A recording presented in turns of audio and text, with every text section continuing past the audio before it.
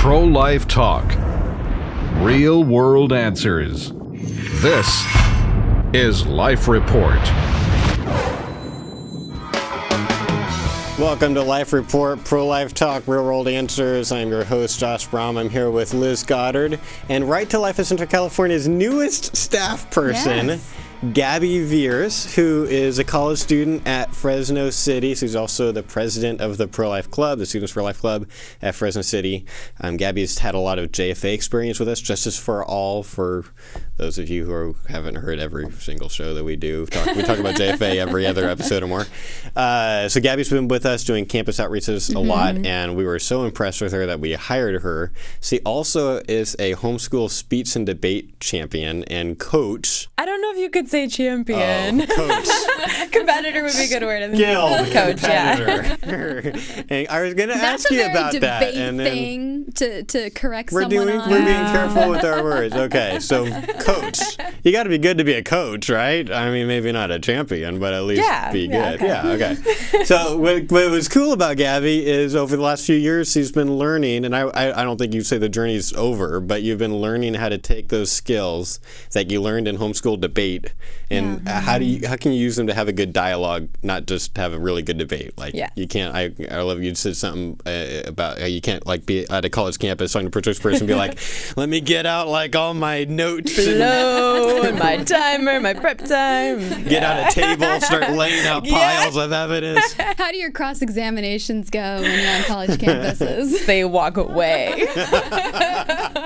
So we don't want to do that. So uh, so you've been learning how to how to you know teach other homeschool speech and debate students how to come and have actual like actual like effective dialogues on on campus. So we went and hired her, and so now she's going to be on the show for a while. Andrew uh, is awesome, but got so busy that he just could not be here every single time. We'll still, if you're a big Andrew fan, you'll see him a little bit more later on the season. But um, we're excited about having Gabi on. Want to real quick before we get to our topic, uh, Yes. if you want to get more life report, you should go to our website prolifepodcast.net. We're putting a lot of content there. I know it's hard for you to believe if you've been, uh, you know, had any access to our website before, but we're we've gotten really good lately at not only publishing life report on a weekly basis.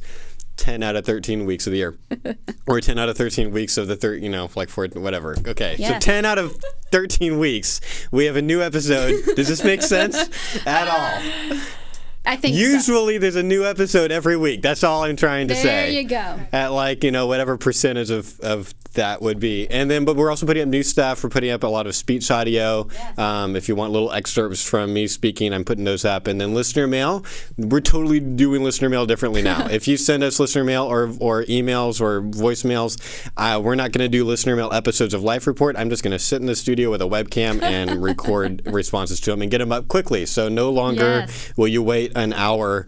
I'm sorry, an, An hour, a year. it was usually a year. Hour this is, is going to be a good show. I can't talk straight. Okay, let's get to our topic.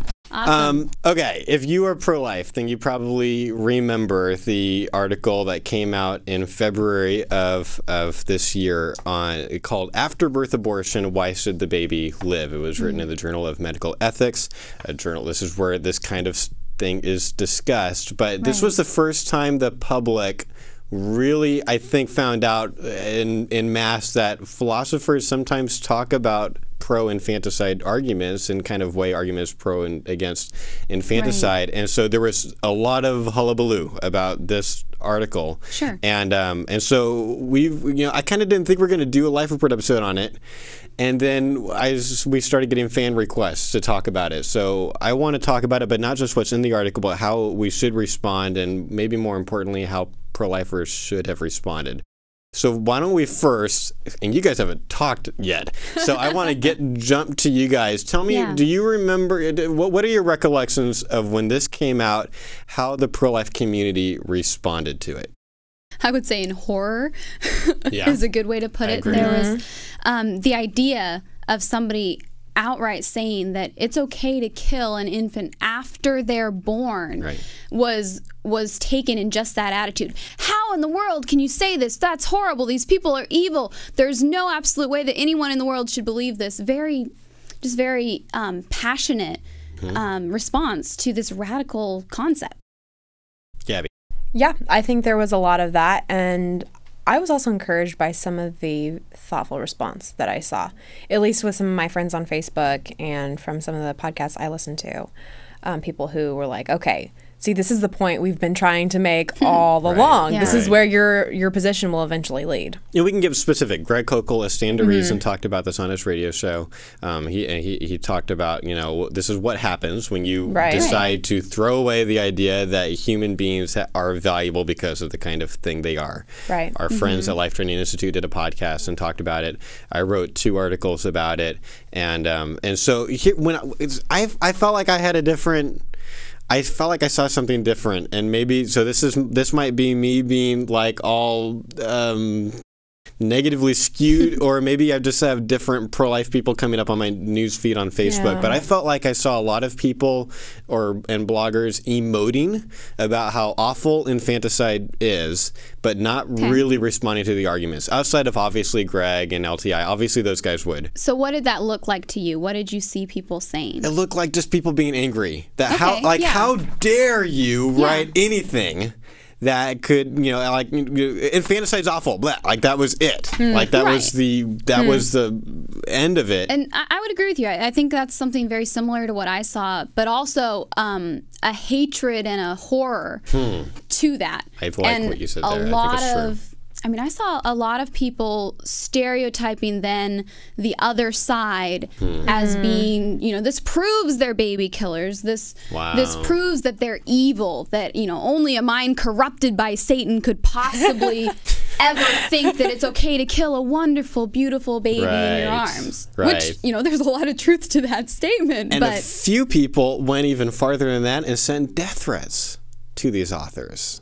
And, surprised and at all. Yeah, I know. I That mean, there- happens, there- now there's extreme. There's there's wackos uh, Yeah. on the extremes of every of every issue. I know that, but that still really bothers me because I'm in this help. movement. It doesn't and help. I thought Dr. Peter Singer actually wrote a brilliant post about this article. I don't think I've necessarily ever had common ground with Peter Now, Singer give us the background of who okay, Peter Dr. Peter Singer bioethics professor at Princeton University. He is Yes. he, he has been the most famous and, and you, you often referenced by pro-life people as, Mm-hmm. as someone who has written um, pro-infanticide arguments. He is a Yeah. very very consistent philosopher, um, and he believes certain things about where your value as a person comes from, and he believes that fetuses do not have that, nor do newborns. Mm-hmm. Right. And so he bites the bullet. He doesn't just say, "Oh, we're just going to draw this arbitrary line at birth." No, he says, "No, the, you know, to be consistent, you know, less uh, up to 30 days, maybe it should be okay to to kill newborns." But he, but and that's not new. He's he and Michael Tooley yeah, have written that for 30 years. Um, but then this article comes out and everyone went crazy. But Peter Singer wrote this brilliant post. I'm not going to read the whole thing, but this is just one of the things that he said that has to do with what we're talking about.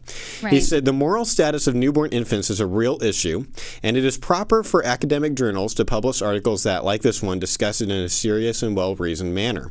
People who wish to defend the traditional view of the sanctity of all human life should respond to the author's arguments, not by mere abuse. And it's ironic that some seem to defend the sanctity of human life by threatening to kill those who question it.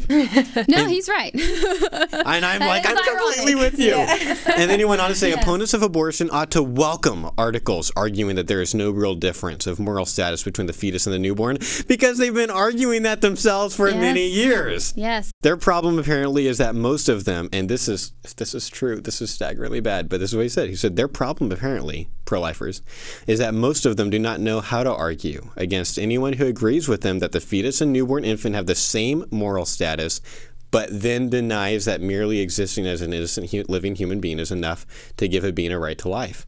If hmm. opponents of abortion believe they can win this debate by reason and argument rather than by threats and intimidation, they have some work to do. I completely agree. I agree, but it's a very natural response when somebody agrees with something that goes so opposite the moral intuitions that you have. Mm-hmm. Mm-hmm. It's like somebody comes up to you and tries to tell you that child abuse is okay or that mm-hmm. rape is okay. And if you don't have an understanding of how they came to that position or how they hold it, it's very, I mean, it's very intuitive to be like, "Mm, what do you mean? How can you think that? You must be insane. And I, think about it, it happens in our marriages all the time. somebody Our marriages, or what are you saying about my marriage? I'm not I married. have an honest marriage. but think about the last time that you had a dispute with Hannah or you know anyone else in the audience. You had a dispute with your spouse, and you just didn't understand where they're coming from. It's easy to to get get emotional about it and just start saying, "How can you think that?" Instead of and I'm saying that's the question we've got to ask. Let's actually Yeah. ask the question. Like, you know, I, I'm on a, Honestly, ask the question. Honestly, that's, what, Yes. that's right. Uh, Yes. Like, read the article. Like, would be one idea. Because I think a lot of people Yeah. responded to it by hearing what other pro-lifers said about it and didn't even read the. It's, it's like a six, five-page article. It's not a very long. As, as far as a journal easy goes, read. this is super easy. Yeah, it's, it's not, not hard to 15 read. pages. I mean, I, I, I guess an example of what I'm saying is, you know, I'm on a, a, a Facebook d- discussion group on abortion, and I, uh, someone had, one of the pro-choice people had posted this question of like, you know, do you ever think the bodily rights arguments will go away? And I'm not going to get into what bodily rights arguments are. We can't do that right now. If you go to prolifepodcast.net, look at bodily rights. There's a bunch of them. It's great. Yeah. Um, but like, all, there were pro-choice people saying, oh no, they're never going to go away. They're untouchable. And so I responded by saying, if you have any respect for me as a thinker, which they do, and you know that I actually am aware of bodily rights arguments. In fact, I've done a lot of studying on them, and I still think abortion should be illegal. Then shouldn't that give you like pause? Like maybe I'm wrong, but shouldn't you at least have pause before saying that they're untouchable? Maybe there's an argument you haven't heard before, and maybe you know we'll get into that. Um, I think that should be our response when someone says something crazy, and to them, me saying that bodily rights argument, maybe there's a counter argument, like is crazy to them. But if Right. they're coming from people that are you know maybe you know, smart enough to be writing in journals, then let's at least take a look at the argument. Yeah, agreed. Um, mm-hmm. I think, I, I, and the other thing else, before we get into the article, I think Singer makes a good point, and and this is something that we have been saying for a long time. A mm-hmm. lot of times, pro-choice arguments, mm-hmm. if taken consistently, automatically end up affirming infanticide. Not always. The pro-choice person Right. could make a bodily rights argument, and that would mm-hmm. only apply to unborn fetuses and would not apply to newborn infants, right? But if someone's making like a personhood argument, they're saying that the that the fetus is not a person because mm-hmm. of you know X, Y, or Z. A lot of times, if you start asking, well, what about the newborn? We call that trotting out a toddler. Right. We find, well, okay, well, that just qualifies newborns too, or maybe even toddlers. And so, this is once again, this is what we've been saying for a long time. It's just that they wrote it in a journal, and when people read it, and people freaked out. Right. So let's talk about what they wrote. What uh, does someone would someone besides me like to give a summary of, of basically what the articles what, what the authors are saying in this ar- in this article? I think we've nominated Josh. Yeah. Okay, uh, go right ahead. Here's basically uh, Dr. Jub- Giubilini and Minerva. Doctors Giubilini and Minerva believe Mm-hmm. that uh, you are not valuable simply because you're human. Right? Uh, Christians believe that human beings are valuable because they're made in the image of God. Mm-hmm. Um, you've got other people that make pro-life arguments about us having, you know, like a future like ours Right, argument, like right. Don Marquis uh, gives. Uh, and Giubilini and Minerva basically say being human is not special. Same thing Peter Singer, Michael Tooley have been saying. Like th- th- that's a Mm-hmm. speciesist argument. You're saying that humans are special, but other animals are not. Saying your your value does not come from being human. Your value Right. comes from having certain capacities to have desires, um, desires for alternative situations. So I, I, I've copied just kind of the most important paragraph of this entire article. You want to understand where they're coming from? Right. This is what they say. They said both a fetus and a newborn certainly are human beings Mm-hmm. and potential persons. And we would disagree. I'm not. I'm, Right. Mm-hmm. I, I would not say it's a This potential is person, their but th- this. Mm-hmm. is their argument. Both the fetus and newborn certainly are human beings, potential persons, but neither is a person in the sense of subject of a moral right to life.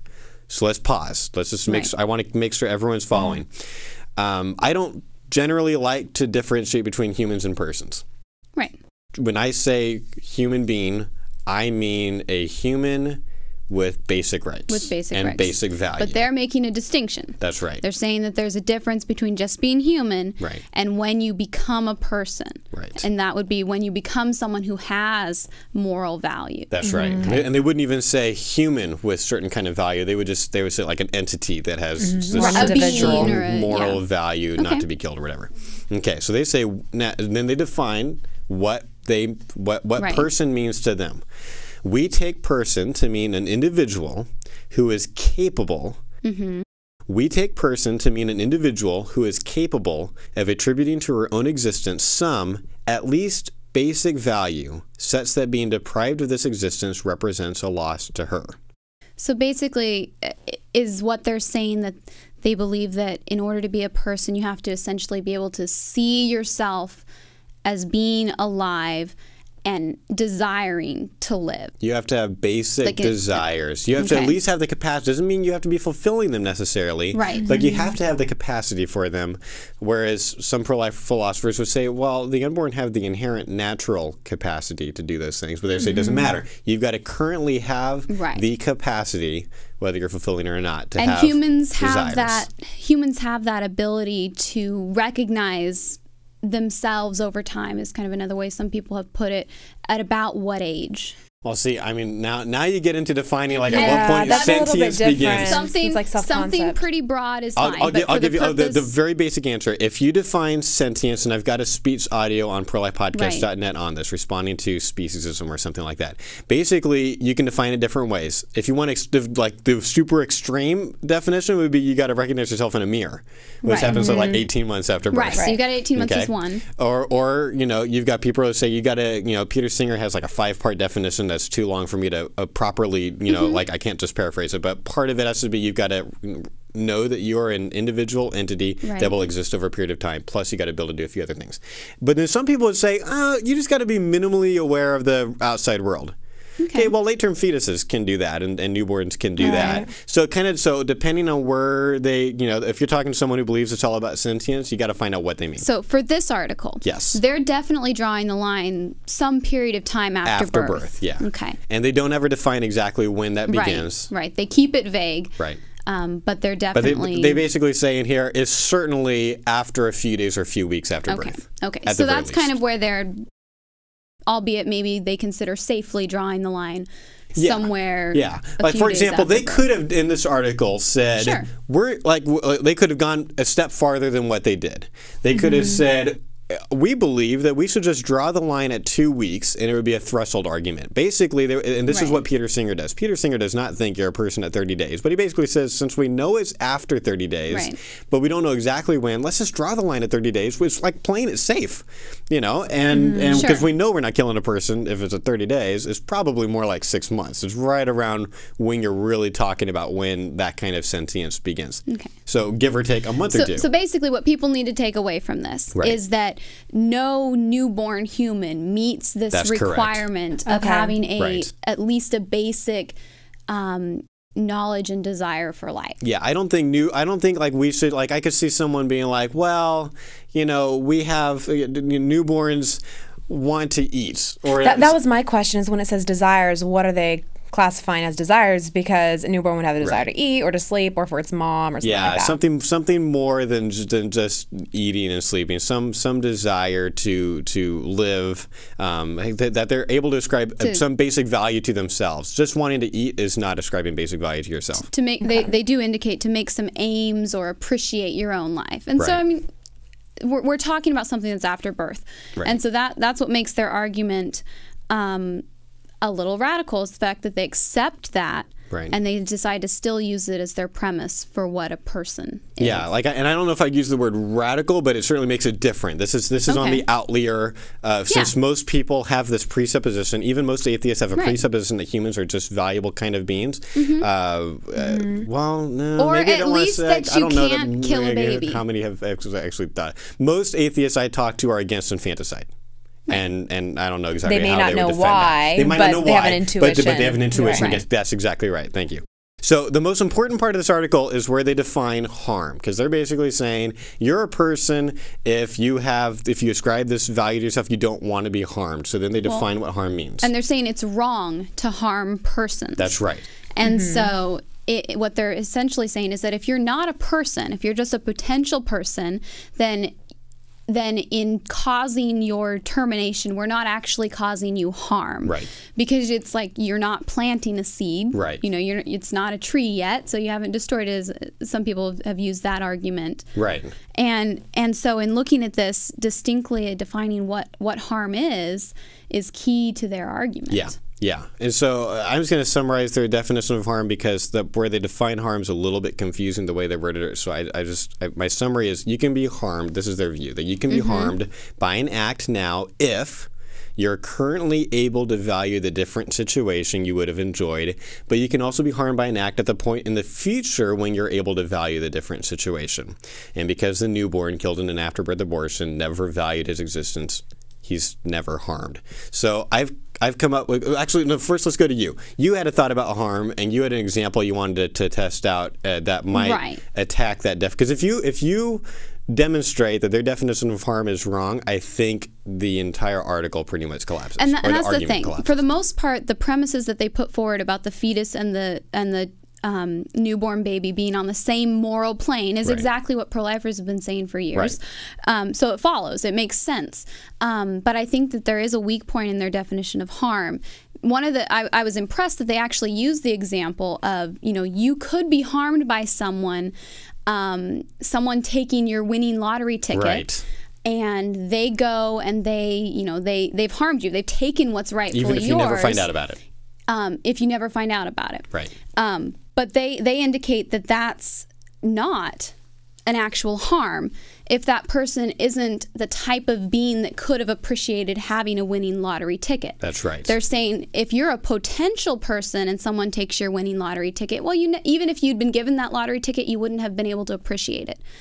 Um, Unless you grew old enough to appreciate it. because right. Because at that point you're not able to comprehend it um, and in thinking about that you know they're saying if you're not in the situation where you Mm-hmm. have the physical capability to um, comprehend something Right. that you're not really harmed by it At Um, least, in, at least not at that point. at least not at that point. So one of the things that I that I thought of was, you know, maybe a challenging counterexample is what about somebody who's who's unconscious, or you know, better yet, somebody who's in, who's in a coma. You know, someone who may or may not ever. Is this a temporary coma or a permanent coma? Maybe we don't know. Okay, maybe it's a permanent coma. Okay. Um, but if somebody's in a coma and we don't necessarily know when they're going to snap out of it and, and have a, an appreciation for their life again, I mean, it's happened in the past that people have been under anesthesia and they've been groped or they've been molested in some way. Right. They're not aware of it. Um, if someone's in a coma, we don't know if they ever will be aware of that harm, but are they still harmed? Right, most if people somebody, been harmed. Right. If somebody's in a coma and they end up not waking up from that coma, but they've been sexually molested while in that coma, is that a harm? And it's going to be, it, it would be even more obvious to the person you're talking to if you call, if you say it's a temporary coma. Um, I think, I think you might end up in this gray area with someone where it's like, ah, permanent coma. Not sure if they ever, you know, it would be almost, it'd be, you know, you can ask, you know, does someone after they've died, if they if they're molested by the the, the mortician, yeah, you know, so then you know, so if you call, if you, I, I, I would I would use the temporary coma example, and I've used that, and I think I think that helps. Um, Right. I think uh, what my my example to try to kind of undermine the definition of harm is um, is take thalidomide. If, uh, if if let's say the mom getting thalidomide is is the anti-nausea drug that if you take it it'll cause severe birth defects. Right. Imagine a mother gets a hold of it anyway and takes them and causes her baby to be born without arms and legs. That baby, when it's born, is not aware of other people having arms and legs, is not Right. aware of a desire. So they would have to say that that the baby was not harmed until he or she reached an age where they were able to desire arms and legs. They, if when they looked around and saw everyone else with mm-hmm. arms and legs and looked down and saw no arms and legs and said, I wish I had those. That's the point they would say that that entity has been harmed. And I think clearly that entity was harmed Right. either when the mom took thalidomide or when the thalidomide actually had a chemical Right. effect on the child. I think that I, I think that's a counterintuitive notion that you're you know the kid's not harmed until he's you know five years old or whatever and wants arms and legs. See, I I almost got a different feeling when I was reading the article because it almost seemed to me like they were saying um, if a woman takes drugs that will harm her baby, um, yes, that is a harm, but the harm occurs then if the baby um, lives, if the fetus lives, and then reaches personhood. Yeah, it's not. It's not how I read it. Because No? I, I read Okay. it. I, I mean, I could. because they were I've looked at this to a me lot, it, se- it seemed like they were saying it's only it only isn't a harm if the um, the fetus then dies If, if, if, it if it dies that. Mm-hmm. before reaching that age, because they have a part where they say, or, or the harm happens at the point where the child has those desires. So uh, e- e- either way, we would say is, ca- I mean, it's counterintuitive. I mean, uh, let's say let's say it was that way. Then then you would say the child where you you know, let's say the mom takes the thalidomide, um, or uh, and then the baby dies in a very very late term miscarriage or like a stillbirth, and they say, well, the mom never harmed the child by taking thalidomide early in the pregnancy. It's like, no, no, no, you harmed the child by taking thalidomide, knowingly taking thalidomide, causing it to not to not grow arms and legs. The fact that the baby died later in a stillbirth would, you know, is a, is a is a different situation. Either way, I think the definition of harm does not work. We have to actually wrap up the episode now. I have way more I want to say about it, but we're almost out of time. So here's here's what I want pro-lifers to do with this. I think this article is the best opportunity for starting dialogue that has happened in the last several years. I think it's less mm-hmm, Right. helpful now than it was in February because it was all in the news. But if you have pro-choice friends, I would send them a link to. You can get this. You can read the article for free online, and you can go. You can find it at prolifepodcast.net. Send it to your pro-choice friend and say, "Hey, I love to. I I'd love to understand what you think about this this article, and and let's. And you could start a dialogue on abortion through this article. Final thoughts from Liz and Gabi.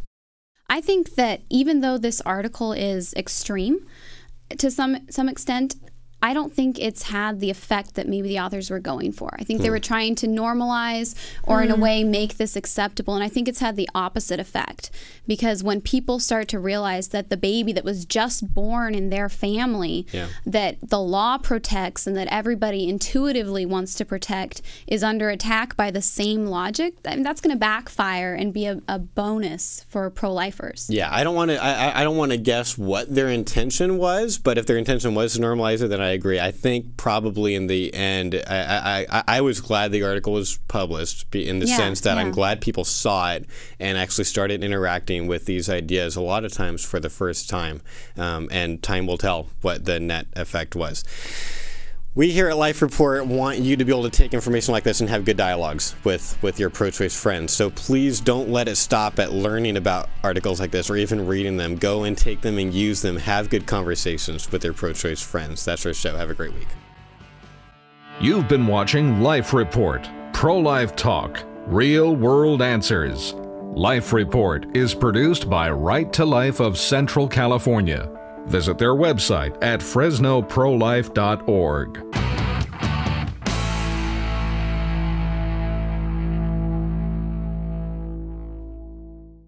Join us September 22nd for an interactive pro life training on turning abortion debates into dialogues, followed by an outreach at Fresno City College. For more information, email Kyle at righttolifeca.org. That's Kyle at righttolifeca.org.